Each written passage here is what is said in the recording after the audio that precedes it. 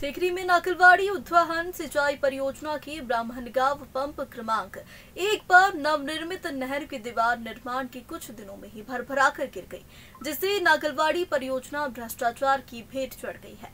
नागलवाड़ी उद्वहन परियोजना का कार्य करोड़ों रुपए की लागत से किया जा रहा है। नागरवाड़ी उद्घाटन परियोजना का कार्य करोड़ों रुपए की लागत से किया जा रहा है, जिसका आज शुभारंभ भी नहीं हुआ और दीवार गिरने से अधिकारियों की पोल खोल दी गई।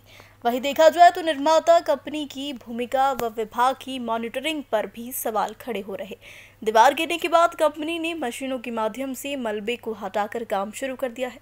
बता दें कि इस योजना से खरगोन ज़िले के सत्तर व बड़वानी ज़िले के छियालीस गाँव की सैतालीस हज़ार हेक्टेयर भूमि को चिन्हित किया जाना है।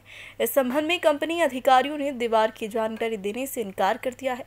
फ़ोन लगाने पर विभाग के अधिकारी सीबीए टटवाल फ़ोन नहीं उठाते। और अपनी जवाबदारी से भागते नज़र आते हैं। ब्राह्मण गाँव ऑफ़िस में जाने पर अधिकारी नदारत रहते हैं। किसी भी कर्मचारी या लेबर से संबंधित अधिकारी के बारे में पूछने पर सही जवाब व अधिकारी की सही जानकारी नहीं दी जाती है।